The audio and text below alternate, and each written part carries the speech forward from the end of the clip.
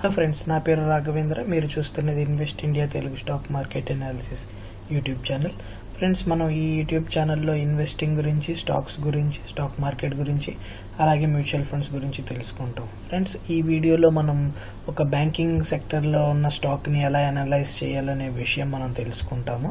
So మనం banking సెక్టర్లో ఉండే స్టాక్స్ని different type of methodology use చేసి అనాలిసిస్ చేయాలి. ఏదైతే మన కన్వెన్షనల్గా వేరే స్టాక్స్ని uh, ఎలా మిగతా సెక్టర్స్ని ఎలా అనలైజ్ చేస్తామో అలా అనలైజ్ చేయకూడదు.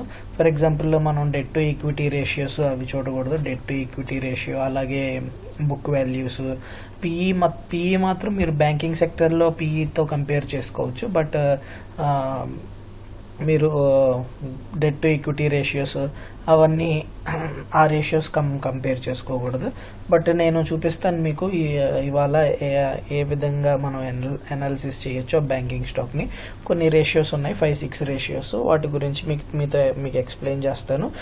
అలాగే వాటి రేషియోస్ని మనం ఎక్కడ ఫైండ్ అవుట్ చేయొచ్చు అనే విషయం కూడా మీకు నేను చెప్తాను. ఓకే ఫ్రెండ్స్ సో ఈ వీడియోలోకి వెళ్ళే ముందు మీరు ఇదే కనుక మన ఫస్ట్ టైం మన ఛానల్ చూస్తున్నట్లయితే తప్పకుండా ఇంతకు ముందు నేను చేసిన వీడియోస్ చూడండి. సో ఇలాగ నేను చాలా వీడియోస్ చేశాను. రీసెంట్గా వీడియో మారుతి సుజుకి మేడ్ చేశాను. ఏ లెవెల్స్లో మీరు బై చేయొచ్చు అనే విషయాన్ని నేను డిస్కస్ చేశాను ఇక్కడ. అలాగే నేను ఇలాగ మల్టీబ్యాగర్ స్టాక్స్ ఫండమెంటల్ అనాలిసిస్ అలా చాలా వీడియోస్ చేశాను. తప్పకుండా వాటిని చూడండి. ఇక్కడ మీరు మీరు చూసినట్లయితే multibagger stocks and advanced enzymes advanced enzymes limited అనే మల్టీబ్యాగర్ స్టాక్ గురించి నేను డిస్కస్ చేశాను. ఓకే అలాగే నేను మేనేజ్మెంట్ మేనేజ్మెంట్ అనాలిసిస్ మీద కూడా ఒక వీడియో చేశాను. మనందరం చాలా చాలా మందికి డౌట్ ఉంటుంది. నేను కూడా చాలా um, కష్టపడ్డాను. మేనేజ్మెంట్ అనాలిసిస్ ఎలా చేయాలో తెలియక ఫస్ట్లో బట్ నేను నేను నేను యూస్ చేసే నేను లెర్న్ చేసి నేను యూస్ చేసే మెథడాలజీని మీకు ఇక్కడ నేను ప్రజెంట్ చేశాను.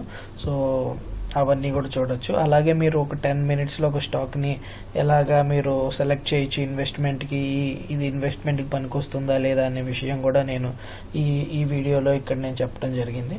సో ఇక్కడ మీరు చూసినట్లయితే మెగమనీ ఆర్గానిక్స్ మీద మల్టీబేగర్ స్టాక్ అని చెప్పి దానికి ఫండమెంటల్ ఫండమెంటల్ అనాలిసిస్ చేశాను. అలాగే Suprajit engineering auto ancillary company. So దాని దాని మీద కూడా నేను అది దానికి వన్ ఆఫ్ ద ఎక్కువ ఉన్న ఎన్పిఎంస్ నెట్ ప్రాఫిట్ మార్జిన్స్ ఉన్న స్టాక్ ఇది. సో అది కూడా మనకి మంచి మల్టీ బ్యాగర్ అవుతుంది అని చెప్పి దాని గురించి కూడా నేను డిస్కస్ చేయడం జరిగింది. అలాగే ఫ్రీ క్యాష్ ఫ్లోస్ మనకి ఫ్రీ క్యాష్ ఫ్లోస్ చాలా ఇంపార్టెంట్ మనకి ఏదైనా బిజినెస్లో మనకి ఫ్రీ క్యాష్ ఫ్లోసే మనకి ఇన్వెస్టర్స్కి వచ్చే మనీ సో ఆ ఫ్రీ క్యాష్ ఫ్లోస్ గురించి కూడా నేను డిస్కస్ చేశాను. ఓకే ఫ్రెండ్స్ సో నోసిల్ మీద కూడా నేను మల్టీబ్యాగర్ స్టాక్ నోసిల్ మీద కూడా నేను ఫండమెంటల్ అనాలిసిస్ చేయడం జరిగింది.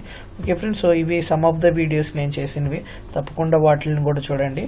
ఓకే ఇప్పుడు మీరు వీడియోలోకి వచ్చినట్లయితే how to analyse banking stock so banking స్టాక్లో మనం క్యాష్ ఫ్లోస్ అలాగే ఇందాక చెప్పినట్టు డెట్ టు ఈక్విటీ రేషియోస్ ఇవన్నీ చూడకూడదు. ఎందుకంటే మెయిన్గా ఒక బ్యాంక్ ఎలా పనిచేస్తుందో ఆలోచించండి. ఒక బ్యాంక్ ఏ విధంగా డబ్బులు సంపాదిస్తుందో ఆలోచించండి ఓకే? ఒక బ్యాంక్ ఏం చేస్తుంది?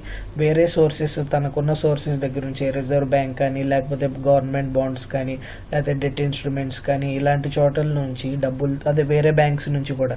ఫర్ ఎగ్జాంపుల్ ఏదైనా బ్యాంక్ ఉందనుకోండి ప్రైవేట్ చిన్న ప్రైవేట్ బ్యాంక్ గవర్నమెంట్ బ్యాంక్స్ నుంచి కూడా డబ్బులు తీసుకొచ్చి వాట్ వాటి వా- అక్కడ ఇంట్రెస్ట్ తీసుకొచ్చి మనకి ఇవ్వచ్చు. అలాగే ఆర్బీఐ నుంచి అలాగే గవర్నమెంట్ బాండ్స్ నుంచి అలాగే డెట్ ఇన్స్ట్రుమెంట్స్ నుంచి వీటన్నిటి దగ్గర దానికి అప్పు అప్పు దొరుకుతుంది అనమాట వేరే వేరే బ్యాంక్స్ నుంచి వాటికి అప్పు దొరుకుతుంది. అది అప్పు తీసుకొచ్చి మనకి మనకి ఇస్తుంది అనమాట సో ఈ ఈ రెండింటి మధ్య ఉన్న వడ్డీ డిఫరెన్సే దాని బ్యాంకుకి లాభం. ఫర్ ఎగ్జాంపుల్ మీరు ఏదైనా లోన్ తీసుకున్నారనుకోండి బ్యాంకులోకి వెళ్ళి ఏదైనా లోన్ తీసుకున్నారు. ఫర్ ఎగ్జాంపుల్ ఏదైనా కార్ లోన్ ఎస్బీఐకి వెళ్ళి కార్ లోన్ తీసుకున్నారనుకోండి. సో ఎస్బీఐ ఏం చేస్తుంది?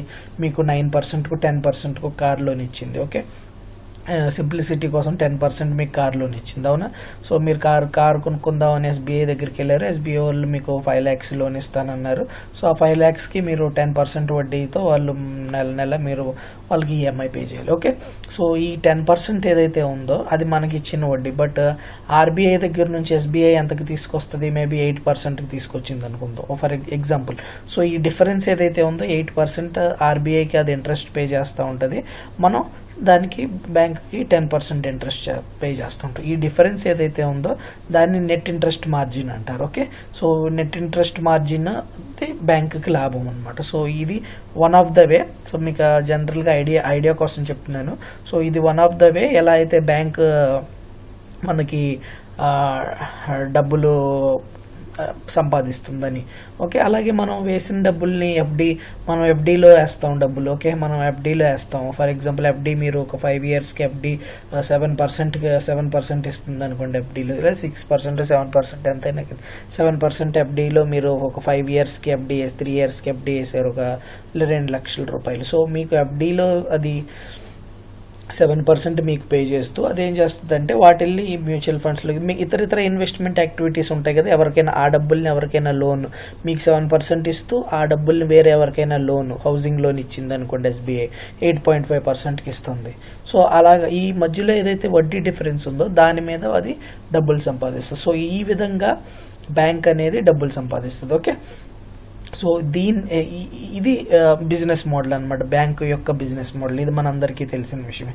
సో ఇందులో ఏదైతే రేషియోస్ ఏ ఏ రేషియోస్ని మనం పరిగణనలో తీసుకోవాలి అనే విషయాన్ని నేను డిస్కస్ చేస్తాను. ఓకే? సో ఫస్ట్ ఇందాక నెట్ ఇంట్రెస్ట్ మార్జిన్ గురించి మాట్లాడుకున్నాం కదా. సో జనరల్గా దీన్ని నెట్ ఇంట్రెస్ట్ మార్జిన్ అంటారు. Okay? So net interest margin ఏంటంటే ఏదైతే డిఫరెన్స్ ఉందో ఫర్ ఎగ్జాంపుల్ ఇందాక మాట్లాడుకున్నట్టు ఆర్బీఐ ఆర్బీఐ దగ్గర ఎస్బీఐ వెళ్ళి ఎయిట్ పర్సెంట్కి వడ్డీ తీసుకొని మీకు కార్ లోన్కి టెన్ పర్సెంట్కి ఇచ్చింది. ఓకే? ఈ డిఫరెన్స్ ఏదైతే ఉందో దీన్ని నెట్ ఇంట్రెస్ట్ మార్జిన్ అంటారు ఓకే సో ఈ నెట్ ఇంట్రెస్ట్ మార్జిన్స్ జనరల్గా మనకి బ్యాంకు యొక్క స్టేటస్ పెరుగుతూ ఉన్న కొద్దీ ఏమవుతుంది? బ్యాంక్ పెద్దది పెద్దది పెద్దది అవుతున్న కొద్దీ ఏమవుతుందంటే ఈ వీళ్ళకి ఇచ్చే వడ్డీ ఇచ్చే వాళ్ళు తక్కువ రేటుకి ఇస్తారనమాట ఎందుకంటే నమ్మకం రిస్క్ ఉండదు కదా. ఇప్పుడు పెద్ద హెచ్డిఎఫ్సి బ్యాంక్ అప్పు అప్పుకి వెళ్ళింది అప్పు అప్పు తీసుకోవడానికి వెళ్ళింది అనుకోండి ఫారిన్ బ్యాంక్స్ దగ్గర లేకపోతే రిజర్వ్ బ్యాంక్ దగ్గర దానికి తక్కువ వడ్డీకి ఇస్తారు. ఎందుకంటే దాన్ని అది డిఫాల్ట్ చేసే ఛాన్సెస్ తక్కువ. సో అలాగే మనకు ఈ నెట్ ఇంట్రెస్ట్ దీని ఈ నెట్ ఇంట్రెస్ట్ మార్జిన్స్ మనకి గ్రేటర్ దాన్ త్రీ పర్సెంట్. ఉండాలి ఓకే సో నెట్ ఇంట్రెస్ట్ గుర్తుపెట్టుకోండి ఈ వీటిల్ని ఫాలో అవ్వండి. నేను కొంతమంది నన్ను సౌత్ ఇండియన్ బ్యాంక్ అలాగే కర్ణాటక బ్యాంక్ వీటి గురించి అడుగుతున్నారు. ఎస్పెషల్లీ సౌత్ ఇండియన్ బ్యాంక్ అడుగుతున్నారు అనమాట నేను చెప్పాను సౌత్ ఇండియన్ బ్యాంక్ నాకు ఇష్టం లేదండి. ఎందుకంటే దాని ఎన్పిఏ రేషియోస్ చాలా చాలా ఎక్కువగా ఉన్నాయి. సో ఎన్పిఎస్ గురించి కూడా నేను మాట్లాడతాను. ఓకే? సో అలాగా మీరు ఈ ఈ రేషియోస్ని మనసులో పెట్టుకోండి. ఈ రేషియోస్ని మనసులో పెట్టుకొని ఈ టైప్ ఆఫ్ అనాలిసిస్ మీరు చేశారనుకోండి సో తప్పకుండా మీకు మీకు మంచి బ్యాంక్ని మీరు సెలెక్ట్ చేసుకోగలుగుతారు ఓకే? టాప్ ఫైవ్ బ్యాంక్స్లోనే మనకి ఎంతో మ- ఎన్ని మంచి మంచి బ్యాంక్స్ ఉన్నాయి? సో మనం వాటి వాటిని దాటి వెళ్ వెళ్ళటానికి ఎప్పుడైనా గుర్తుపెట్టుకోండి. బ్యాంక్ కానీ మ్యూచువల్ ఫండ్స్ కానీ ఇన్సూరెన్స్ కానీ ఇవన్నీ కూడా మీరు స్మాల్ క్యాప్ అని పట్టించుకోకండి ఓకే? నన్ను నన్ను అడిగిన వాళ్ళు కూడా అదే అంటున్నారు. స్మాల్ క్యాప్ కదండి ఇది పెద్దదవుతుంది లేదు. అయితే అవ్వచ్చు బట్ మీకు బ్యాంక్ బ్యాంక్స్ విషయంలో మ్యూచువల్ ఫండ్స్ విషయంలో అలాగే ఇన్సూరెన్స్ విషయంలో ఎసెట్ మేనేజ్మెంట్ కంపెనీస్ అదే మ్యూచువల్ ఫండ్ కంపెనీస్ విషయంలో మీకు ఎంత పెద్దవైతే అంత మంచిది. ఓకే ఫ్రెండ్స్ సో ఈ గుర్తుపెట్టుకోండి ఇప్పుడు కూడా small cap mid cap large cap అనే అనే అనే అనే దృక్పథంతో అన్నిటినీ అలాగ చూడకండి ఓకే? సో అలాగా ఇది small cap the face value ten ఈ పిఈ లెస్ దెన్ టెన్ ఉంది. ఆ ఆ దృక్పథం అంతా మనకి మంచి అంత మంచి దృక్పథం కాదు. ఫర్ ఎగ్జాంపుల్ మీకు పిఈ గురించి ఎందుకు నేను వద్దని వద్దని చెప్తాను అంటే హ- హిందుస్థాన్ యూనిలివర్ లిమిటెడ్ ఉంది. సో అది ఫిఫ్టీయో సిక్స్టీయో పిఈ ఉంటుంది. సో అలా అని చెప్పి అది చెడ్డ కంపెనీ అంటామా? అది ఇక్కడ నుంచి రిటర్న్స్ ఇవ్వ ఇవ్వదు అంటామా? మీరు బిస్కెట్స్ తింటే మానేస్తారా friends fair and lovely soaps detergents ఎన్ని ఉన్నాయి? హెచ్యుఎల్ కింద ఒకసారి వెబ్సైట్లోకి వెళ్ళి చూడండి. ఇవన్నీ మీరు వాడటం ఆపేస్తారా? లేదు కదా. సో ఒకసారి ఆలోచించండి. గ్రో గ్రోత్ గ్రోత్ గ్రోత్కి బిజినెస్ అండర్స్టాండ్ చేసుకోవాలి మనం. అంతేగాని మనం మిడ్ క్యాప్ స్మాల్ క్యాప్ ఇది కాదు. అఫ్ కోర్స్ అది స్మాల్ క్యాప్ అయితే కనుక మనకి బోనస్ బోనస్ వచ్చినట్లే. ఎందుకంటే స్మాల్ క్యాప్కి చాలా స్కోప్ ఉంటుంది గ్రో అవటానికి. అలా అని చెప్పి లార్జ్ క్యాప్స్ గ్రో అని అని కాదు నేను చెప్పే విషయం ఓకే అది గుర్తుపెట్టుకోండి. నేను కాంట్రడిక్టరీగా మాట్లాడట్లేదు బట్ జనరల్గా స్టాక్ యొక్క లక్షణాలు కంపెనీ యొక్క లక్షణాల గురించి నేను మాట్లాడుతున్నాను. అంతేగాని స్టాక్స్ గురించి నేను ఎప్పుడు మాట్లాడక స్టాక్స్ గురించిలోకి మీరు స్టాక్స్లోకి వెళ్ళిపోతే అప్పుడు మీరు ఫేస్ వాల్యూలు పిఈలు ఇవన్నీ చూడాలి. కానీ నేను మీకు కంపెనీకి కంపెనీకి ఒక కంపెనీకి స్టాక్కి ఉన్న డిఫరెన్స్ నేను మీకు చెప్పాను. సో స్టాక్స్ పరంగా చూడకండి. ఏదైనా మీరు లాంగ్ టర్మ్ టర్మ్ ఇన్వెస్ట్మెంట్ అంటే తప్పకుండా కంపెనీ పరంగా ఆలోచించండి. ఓకే సో మనం బ్యాంకింగ్ గురించి మాట్లాడుతున్నాం కాబట్టి బ్యాంక్స్లో చెప్పాను కదా ఏదైతే లార్జ్ బ్యాంక్ ఉంటుందో దానికి తక్కువ వడ్డీకి వస్తుంది. ఓకే ఫ్రెండ్స్ సో చూడండి. ఆ- విషయాన్ని గుర్తుపెట్టుకోండి. Okay so net interest margins మనకి గ్రేటర్ దెన్ త్రీ పర్సెంట్ ఉండాలి.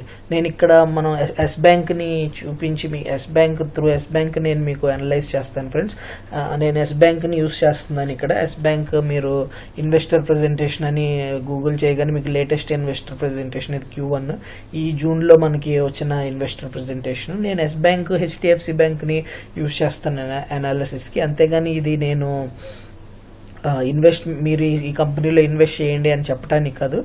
ఎగ్జాంపుల్ కోసం నేను ఎస్ బ్యాంక్ని హెచ్డిఎఫ్సి బ్యాంక్ని కూడా నేను యూజ్ చేస్తాను. అంతే ఎగ్జాంపుల్ మాత్రం. ఎందుకంటే ఒకటి టాప్ బ్యాంక్ బ్యాంక్ అలాగే ఇది fourth largest bank fifth largest bank Yes Bank. So ఈ రెండింటిని నేను కంపేర్ చేస్తున్నాను. ఓకే అలాగే మీకు మిగతావి కూడా ఈ సౌత్ ఇండియన్ బ్యాంక్లో ఎంత ఎన్పిఎస్ ఉన్నాయి వాటి గురించి కూడా నేను మాట్లాడతాను. ఓకే? సో ఈ ఎస్ బ్యాంక్ ఇన్వెస్టర్ ప్రెజెంటేషన్లోకి వెళ్ళండి. మీకు ఈజీగా ఎక్కడ ఈ రేషియోస్ ఎక్కడ దొరుకుతాయో మీకు ఈజీగా ఉండటం కోసం నేను ఈ ఇన్వెస్టర్ ప్రెజెంటేషన్లోకి వెళ్తున్నాను. ఓకే? సో మీకు ఓకే ఇది ఎస్ బ్యాంక్ కదా? Okay Yes Bank investor presentation okay latest investor presentation మీకు ఎస్ బ్యాంక్ గురించి చెప్పాను నేను ఇదివరకు అనాలిసిస్ చేసినప్పుడు. చూడండి mutual fund business regulatory approval from SEBI SEBI వీళ్ళకి ఎస్ బ్యాంక్కి మ్యూచువల్ ఫండ్ పర్మిషన్ ఇచ్చింది. సో అది కూడా వన్ ఆఫ్ ద పాజిటివ్ నేను ఎస్ బ్యాంక్ మీద పాజిటివ్ ఉండటానికి ఓకే బట్ ఇప్పుడు ప్రమోటర్ రానా కపూర్ ఈ ఇష్యూస్ ఉన్నాయి కాబట్టి mm, అంత రిస్క్ తీసుకోలేని వాళ్ళు ఈ స్టాక్కి దూరంగా ఉండొచ్చు. బట్ uh, మీరు లాంగ్ టర్మ్ ఒక ఫైవ్ ఇయర్స్ కనుక మీకు ఇన్వెస్ట్మెంట్ హొరైజన్ ఉంటే తప్పకుండా ఈ levels one of the best levels అవుతాయి ఇన్వెస్ట్మెంట్కి ఓకే సో దాని గురించి పక్కన పెట్టండి. సో మనం అనలైజ్ చేద్దాం. సో నెట్ ఇంట్రెస్ట్ మార్జిన్స్ కోసం చూడండి మీరు ఇక్కడ. ఇక్కడ మీకు కనిపిస్తుందా? సో ఇక్కడ గ్రాఫ్ కనిపిస్తుందా? Yield on advances okay cost of funds net interest margin ఇక్కడ మీకు net interest margin green colour green కలర్లో కనిపిస్తుందా? ఇక్కడ చూడండి. ఇది net interest margin second point మనం రిట్ రిటర్న్ ఆన్ ఈక్విటీకి వద్దాం బట్ సెకండ్ పాయింట్ డిస్కస్ చేస్తున్నాను NIM greater than three percent ఉండాలి. సో ఇక్కడ అదే ఇన్వెస్టర్ ప్రెజెంటేషన్కి వచ్చేయండి. ఓకే ఇక్కడ చూడండి. ఇన్వెస్టర్ ప్రెజెంటేషన్లో ఇక్కడ చూడండి three point three percent so ఇక్కడ నుంచి మేము గమనించినట్లయితే last year three point seven three point seven three point five three point four three point three so ఇది మనకి జనరల్గా three point three percent net interest margins చూపిస్తుంది. ఓకే సో మనకి మన లిమిట్ ప్రకారం three point three three percent కన్నా ఎక్కువే ఉంది. So net interest margin three point three percent అంటే ఓకే. మనం ఈ ఈ- ఇది బాగున్నట్టే. ఓకే ఫ్రెండ్స్ సో మీకు అర్థమైందా? నెట్ ఇంట్రెస్ట్ మార్జిన్ ఎక్కడ నుంచి తీసుకోవచ్చో? ఓకే అలాగే హెచ్డిఎఫ్సి బ్యాంక్కి గ్రేటర్ దాన్ ఫోర్ పర్సెంట్ ఉంది okay so HDFC Bank greater than four percent net interest margin Yes బ్యాంక్కి three point three percent so three point seven three point seven three point five అంటే దగ్గర దగ్గర three point four percent యావరేజ్గా ఉంది అనుకోవచ్చు okay so three point four percent net interest margin okay friends first point అర్థమైంది కదా? So next point చూద్దాం. మనం సెకండ్ పాయింట్ ఓకే ఇది రెట్నాన్ ఈక్వి రెట్నాన్ మనం ఎలా అయితే రెట్నాన్ ఈక్విటీస్ చూస్తామో రెట్నాన్ ఈక్విటీ ఇక్కడ కూడా చూడొచ్చు బట్ ఇక్కడ ఏంటంటే మనకి రెట్నాన్ అసెట్స్ చూసుకోవాలి. రెట్నాన్ అసెట్స్ అంటే ఏంటంటే ఫర్ ఎగ్జాంపుల్ ఒక ఒక అసెట్ ఉందనుకోండి ఒక రూపాయి వాల్యూ చేసే అసెట్ నుంచి ఎంత డబ్బులు మనం సంపాదిస్తున్నాం అనేది return on asset so for example వంద రూపాయలు ఉందనుకోండి వంద రూపాయలు మీ దగ్గర ఉంటే అందులోంచి ఎంత ఎంత డబ్బులు సంపాదించగలరో అది రిటర్న్ ఆన్ అసెట్స్ అనమాట so one point five percent of వంద ఎంత అవుతుంది? నూట యాభై రూపాయలు అవుతుంది. సో ఏదైనా కంపెనీ ఏదైనా bank return on equi return on assets greater than one point five percent కనుక సంపాదిస్తుంటే ఇది జనరల్గా ఏంటంటే గ్రేటర్ దాన్ వన్ పర్సెంట్ అంటారు. రిటర్న్ ఆన్ అసెట్స్ బ్యాంక్స్కి ఎన్బిఎఫ్సిస్కి గ్రేటర్ దాన్ వన్ పర్సెంట్ అంటారు. బట్ నేను కన్వెన్షన్ మన ఇంకా uh, మన అనాలిసిస్ కోసం ఇంకా మంచిగా మన అనాలిసిస్ ఉండాలని చెప్పి నేను greater than one point five percent అంటున్నాను.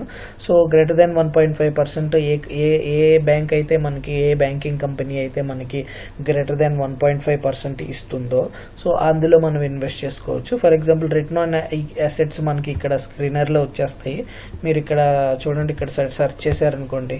రిటర్న్ ఆన్ అసెట్స్ అని చెప్పి ఇక్కడ చూడండి. దీన్ని సెలెక్ట్ చేసుకుంటే ఇక్కడ మీకు చూపించేస్తుంది రిటర్న్ ఆన్ అసెట్స్ ఇక్కడ చూడండి. హెచ్డిఎఫ్సి బ్యాంక్ దగ్గర దగ్గర టూ టూ పర్సెంట్ ఉంటుంది. ఓకే సో ఇక్కడ చూడండి return on assets last five ఇయర్స్కి వచ్చేసి టూ పర్సెంట్ ఓకే సో ఇది two percent return on assets HDFC బ్యాంక్కి లాస్ట్ ఫైవ్ ఇయర్స్లో సో ఇది greater than one point five percent ఉంది.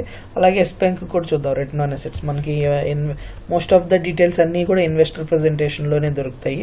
సో అందుకనే నేను ఇన్వెస్టర్ ప్రెజెంటేషన్ మీకు ప్రతి um, ఏమంటారు ప్రతి వీడియోలో నేను మీకు ఇన్వెస్టర్ ప్రెజెంటేషన్లో నుంచి చెప్పడానికి ట్రై చేస్తాను. మోస్ట్ ఆఫ్ ద డేటా మనకి ఇన్వెస్టర్ ప్రెజెంటేషన్ రిపోర్ట్స్ అలాగే మనకి uh, యాన్యువల్ రిపోర్ట్స్లో మనకు ఉంటుంది సో అందుకని నేను మీకు అది అందులోంచి చెప్పడానికి నేను ఇష్టపడతాను. ఓకే ఫ్రెండ్స్ సో మీరు కూడా మీరు చేసుకునేటప్పుడు కూడా మీరు రీసెర్చ్ చేసేటప్పుడు కూడా తప్పకుండా మీరు ఈ ఇన్వెస్టర్ ప్రజెంటేషన్స్ యాన్యువల్ రిపోర్ట్స్ తప్పకుండా చూడండి. ఓకే ఎక్కడ ఉంది మనకి? ఒక్క నిమిషం. రిటర్న్ ఆన్ అసెట్స్ ఇక్కడ చూడండి. ఇక్కడ చూడండి. రిటర్న్ ఆన్ ఈక్విటీ చూడండి blue line light blue so return on equity కూడా మనకి గ్రేటర్ దాన్ ఫిఫ్టీన్ పర్సెంట్ ఉంది. ఓకే అది కూడా పాజిటివ్ అలాగే రిటర్న్ ఆన్ అసెట్స్ చూడండి one point six one point seven one point eight one point six okay so ఈ return on assets కూడా మనకి company greater than one point five percent ఉంది. So అది కూడా మనకి చాలా చాలా బెనిఫిట్ సో ఎస్ బ్యాంక్ గురించి మాట్లాడుతున్నాను. అలాగే హెచ్డిఎఫ్సి బ్యాంక్ దగ్గర దగ్గర two percent one point eight one point nine two percent దగ్గరలో ఉంది. Okay so return on assets కూడా ఇది బాగానే ఉంది ఓకే? అది okay second point return on assets అర్థమైంది కదా మీకు. తర్వాత కాసా కాసా రేషియో అంటారు దీన్నే. కాసా అంటే ఏంటంటే కరెంట్ అకౌంట్ ఆ తర్వాత సేవింగ్స్ అకౌంట్ అనే ఈ రెండు కరెంట్ అకౌంట్స్ ఎన్నో ఎన్ని ఉన్నాయి సేవింగ్స్ అకౌంట్స్ ఎన్ని ఉన్నాయని ఇది CASA ratio greater than forty percent ఉంటే మనం greater than thirty five percent forty percent ఉంటే మనకి greater than forty percent thirty thirty five వేసుకోండి. థర్టీ ఫైవ్ పర్సెంట్ ఉంటే మనకి మంచి బ్యాంక్ అని కన్సిడర్ చేయొచ్చు. సో కాసా రేషియో మనకు కావాలంటే చూడండి ఇన్వెస్టర్ ప్రెజెంటేషన్లోనే దొరుకుతుంది ఇక్కడ. కాసా రేషియో గ్రాఫికల్గా చూపించాడు ఇక్కడ. ఇంకోండి ఇక్కడ చూడండి ఉమ్,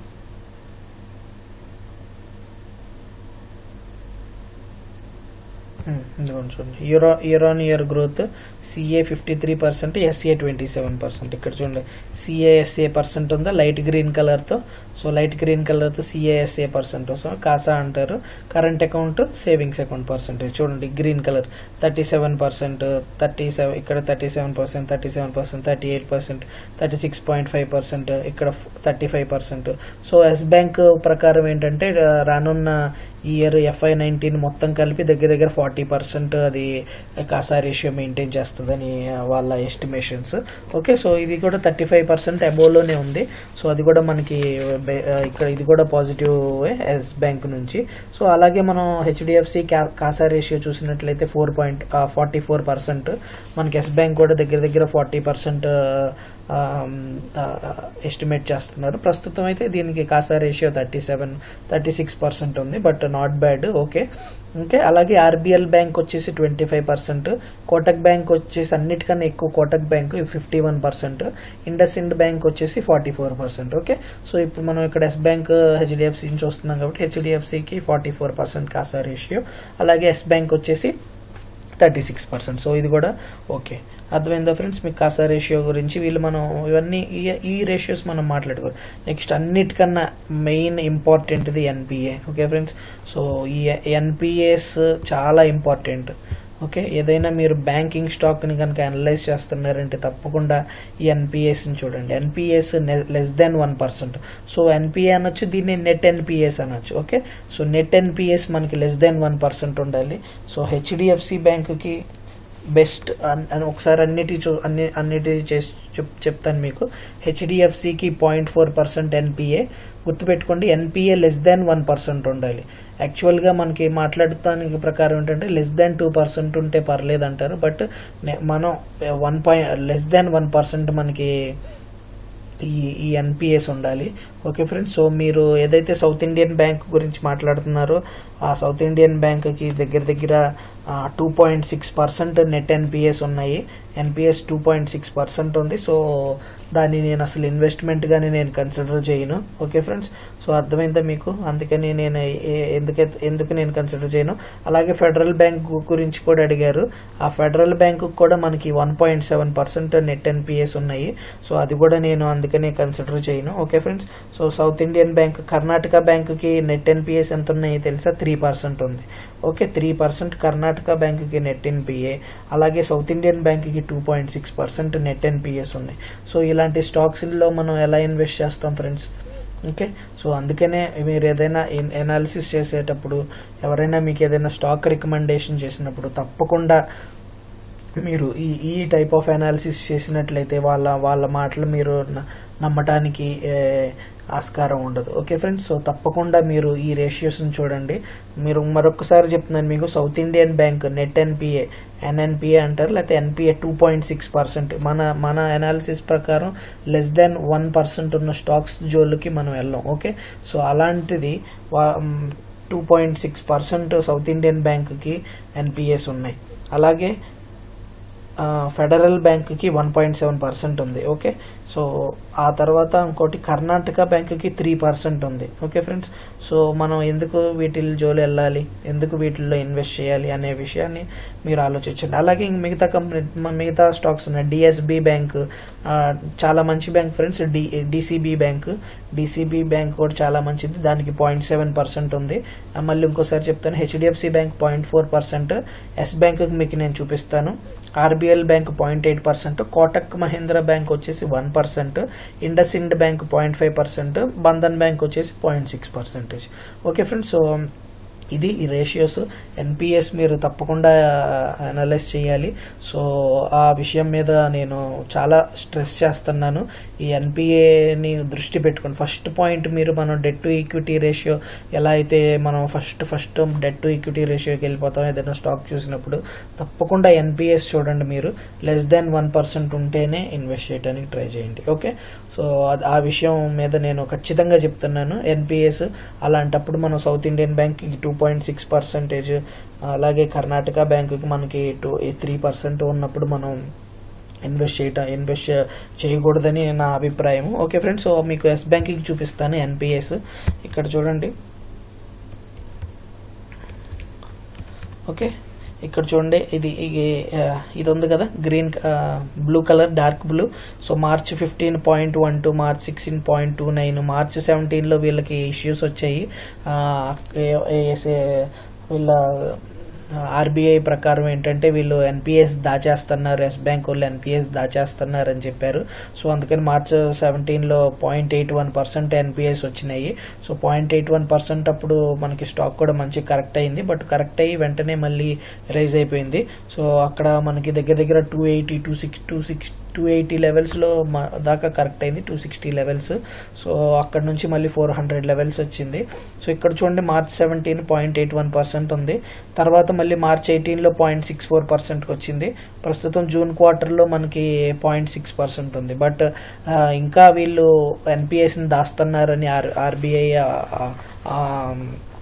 అంటుంది. అలాగే రానా కపూర్ గారి వ్యవహారం వీళ్ళు రానా కపూర్ని మళ్ళీ మళ్ళీ ఎక్స్టెండ్ చేయాలి ఎక్స్టెండ్ చేయాలి అని రిక్వెస్ట్ చేస్తున్న దాని ప్రకారం చూస్తుంటే ఇంకా ఈ బ్యాంకులు ఎన్పిఎస్ ఉన్నాయి ఎక్కువ ఉన్నాయి అనేది మనకి తెలుస్తుంది. బట్ ఏదైతే ఏమైంది ఎవరు వచ్చినా కానీ నెక్స్ట్ ఫ్యూ క్వార్టర్స్లో నెక్స్ట్ వన్ ఇయర్స్లో వన్ ఇయర్లో మనకి వీటి ఎన్పిఎస్ అన్ని బయట పెట్టాల్సి వస్తుంది.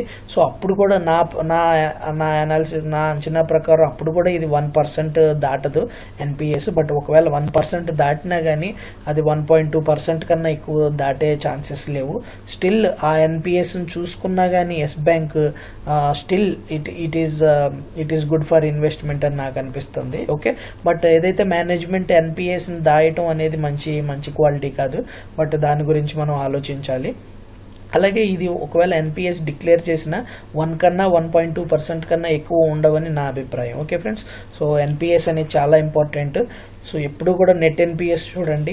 ఎప్పుడు కూడా net NPAs one one percent కన్నా తక్కువే ఉండాలి. ఓకే ఫ్రెండ్స్ సో అర్థమైంది అనుకుంటున్నాను మీకు ఇది ఈ విషయం. నెట్ ఎన్పిఎస్ మీద నేను ఎన్పిఎస్ మీద చాలా ఖచ్చితంగా మాట్లాడుతున్నాను. ఖచ్చితంగా కూడా ఉన్నాను నేను. ఓకే నెక్స్ట్ వచ్చేసి yield on advances so yield on advances అంటే వీళ్ళకి యాక్చువల్గా చెప్పాలంటే సో ఇల్డన్ అడ్వాన్ అడ్వాన్సెస్ అంటే ఏంటంటే సో ఏదైతే ఇన్వెస్ట్మెంట్ నుంచి వచ్చిన ఇంట్రెస్ట్ డివిడెండ్ ఏదైనా ఇన్వెస్ట్మెంట్ వీళ్ళు ఇన్వెస్ట్ చేస్తారు కదా వాటి వాటంతటి మీద వచ్చిన ఇన్వెస్ట్మెంట్స్ మీద వచ్చిన ఆ రిటర్న్ని ఇల్డ్ ఆన్ అడ్వాన్సెస్ అంటారు. సో ఇది ఈ బ్యాంక్ స్టాక్స్కి గ్రేటర్ దాన్ టెన్ పర్సెంట్ ఉంటే మంచిది. సో ఇక్కడ మనకి ఇక్కడ మనకి ఎస్ బ్యాంక్కి టెన్ పర్సెంట్ ఆ రేంజ్లో ఉంది. ఈల్డ్ ఆన్ అడ్వాన్సెస్ చూపిస్తాను మీకు అది. ఎస్ బ్యాంక్కి టెన్ పర్సెంట్ ఉంది బట్ హెచ్డిఎఫ్సి బ్యాంక్కి ట్వెల్వ్ పర్సెంట్ ఉంది. Okay friends so yield on advances కోసం మీరు ఇదే మన ఇదే ఇన్వెస్టర్ ప్రెజెంటేషన్లోకి వెళ్ళొచ్చు. సో ఇదే ఇన్వెస్టర్ ప్రెజెంటేషన్లో మీరు ఈల్డ్ ఆన్ అడ్వాన్సెస్ చూడండి. ఇక్కడ చూడండి yield on advances dark blue colour చూడండి ten point four percent ten point two percent nine point eight percent nine point nine percent ten percent so యావరేజ్గా మనకి ten percent అనేది maintain చేస్తుంది Yes bank yield on advances but హెచ్డిఎఫ్సికి twelve percent ఉంది. అంటే వీళ్ళు వీళ్ళ advances మీద వీళ్ళు ఇన్వెస్ట్మెంట్స్ చేస్తున్న వాటి మీద వీళ్ళకి వస్తున్న రిటర్న్స్ దగ్గర దగ్గర టెన్ పర్సెంట్ వస్తుంది. ఓకే అలాగే హెచ్డిఎఫ్సి బ్యాంక్కి ట్వెల్వ్ పర్సెంట్ వస్తుంది. ఓకే ఫ్రెండ్స్ మీకు ఈల్డ్ ఆన్ అడ్వాన్సెస్ అర్థమైంది కదా? ఇది నెక్స్ట్ పాయింట్. ఆ తర్వాత మనకి cost of liabilities cost of liabilities అంటే వీళ్ళు ఏదైతే వీళ్ళ అప్పులు అప్పులు అప్పులు ఎంత ఉన్నాయో వాటి మీద వచ్చే వీళ్ళకి ఇంట్రెస్ట్ అంటే అప్పులు ఉంటాయి కదా అప్పుల మీద వీళ్ళు ఎవరికైతే ఎవరైతే ఇంట్రెస్ట్ వీళ్ళు ఎవరికైతే ఇంట్రెస్ట్ వీళ్ళు పే చేయాల్సి వస్తుందో ఆ రేషియో అనమాట ఆ percentage so cost of liabilities మనకి ఎంత తక్కువ ఉంటే అంత మంచిది. సో కాస్ట్ ఆఫ్ లైబిలిటీస్ మనకి ఎంత తక్కువ ఉంటే అంత మంచిది. సో మనకి ఎస్ బ్యాంక్ చూసినట్లయితే మనకి four point five five percent cost of liabilities ఉంది. అలాగే మనం హెచ్డిఎఫ్సి బ్యాంక్ చూసినట్లయితే four point five percent cost of లైబిలిటీస్లో ఉంది. ఓకే కాస్ట్ ఆఫ్ లైబిలిటీస్ నాకు ఎక్కడి నుంచి తీసుకున్నానంటే నేను స్టాకేజ్ యాప్ నుంచి తీసుకున్నాను ఫ్రెండ్స్ మనకి మొబైల్ యాప్ ఉంది కదా. సో ఇందులో ఇందులో కూడా ఒకసారి నేను చూస్తాను. నాకు కనిపించలేదు బట్ ఇంకొకసారి మీరు కూడా ట్రై చేయండి. కాస్ట్ ఆన్ అడ్వాన్సెస్ ఓకే ఇక్కడ ఉంది కదా cost cost on advances cost of liabilities so cost of liabilities మీరు ఒకసారి మనీ కంట్రోల్లో కానీ లేకపోతే స్టాకేజ్ యాప్లో చూడండి. లెస్ దెన్ ఫైవ్ పర్సెంట్ ఉండాలి ఏదైనా కంపెనీకి మీరు ఏదైనా స్టాక్లో మీరు ఇన్వెస్ట్ చేసేటప్పుడు ఓకే ఓకే ఫ్రెండ్స్ సో ఈ ఫైవ్ రేషియోస్ చూడండి ఈ సిక్స్ రేషియోస్ చూడండి return on equity greater than one point five percent ఉండాలి. చెప్పాను కదా return on equity return on assets అంటే ఏంటో నెట్ ఇంట్రెస్ట్ మార్జిన్స్ అలాగే కాసా రేషియోస్ ఎన్పిఏ ఎన్పిఏ చాలా ఇంపార్టెంట్ ఇది లెస్ దెన్ వన్ పర్సెంట్ ఉండేటట్టు చూసుకోండి. ఈల్డ్ ఆన్ అడ్వాన్సెస్ అంటే వీళ్ళు ఇన్వెస్ట్మెంట్స్ మీద వచ్చే మనకి వచ్చే ఇంట్రెస్ట్ అలాగే కాస్ట్ ఆఫ్ లయబిలిటీస్ ఇది లెస్ దెన్ ఫైవ్ పర్సెంట్ ఉండాలి. ఓకే ఫ్రెండ్స్ వీటన్నిటితో పాటు ఇంకొక ముఖ్యమైన విషయం ఉంది. సో అదే రేటింగ్స్ సో రేటింగ్స్ కూడా మీరు చూడాలి. సో రేటింగ్స్ మీరు చూడాలంటే ఇక్కడ ఈ మన హెచ్ స్క్రీనర్లో ఉంటుంది. ఇక్కడ చూడండి HDFC CARE ratings CRISIL ratings అనే రెండు రేటింగ్స్ ఉన్నాయి. సో ఇక్కడ మీరు చూసినట్లయితే HDFC bank limited CRISIL triple A stable okay? So triple A stable ratings. So ఇక్కడ మీకు ఎస్ బ్యాంక్ చూపిస్తాను మీకు. కేర్ ఇక్కడ చూడండి ఇన్ఫ్రా బాండ్స్ ఇక్కడ లాంగ్ టర్మ్ స్టేబుల్ అని ఇచ్చింది. అలాగే ఇక్కడ కూడా లాంగ్ టర్మ్ పాజిటివ్ అని ఇచ్చింది. ఇండియా రేటింగ్స్ స్టేబుల్ అని ఇచ్చింది. అలాగే మూడీస్ ఇన్వెస్టర్ సర్వీస్ స్టేబుల్ అని ఇచ్చింది. ఓకే సో ఇవి లాంగ్ టర్మ్ అలాగే మీరు మిగతా కంప్ మిగతా వాటిలో ఇన్వెస్టర్ ప్రెజెంటేషన్లోకి వెళ్తే కనుక మీకు తప్పకుండా ఇలాగ ఒక సెక్షన్ ఉంటుంది. సో ఎస్ బ్యాంక్ డెప్ట్ జర్నీ సో ఇలాంటి రేటింగ్స్ అనేవి అందులో మెన్షన్ చేస్తారు. So triple A ratings double A ratings positive A A plus A ratings ఉన్నవి మనకి చాలా మంచిది. సో అలాగే ఇక్కడ అవుట్లుక్ కూడా స్టేబుల్ పాజిటివ్ స్టేబుల్ అని మెన్షన్ చేస్తారు. ఓకే సో ఇప్పుడు ఎస్ బ్యాంక్ కూడా మేబీ uh, మళ్ళీ రీ రేటింగ్ చేయొచ్చు. ఓకే ప్రస్తుతానికి ఇది జూన్ క్వార్టర్ వరకు ఎంత జూన్ వరకు ఉన్న రేటింగ్స్ అయితే ఇవి. ఇప్పుడు దీని రేటింగ్ కూడా మనకి తగ్గచ్చు పెరగచ్చు సారీ పెరగకపోవచ్చు బట్ తగ్గచ్చు ఈ రేటింగ్స్. సో నెక్స్ట్ క్వార్టర్లో కూడా ఒకసారి మీరు ఈ రేటింగ్స్ ఎస్ బ్యాంక్ యొక్క రేటింగ్స్ ఒకసారి చూడండి. ఓకే ఫ్రెండ్స్ సో ఈ విధంగా మనం ఇక్కడ సెవెంత్ పాయింట్ కూడా రాసుకోవచ్చు రేటింగ్స్ అని చెప్పి.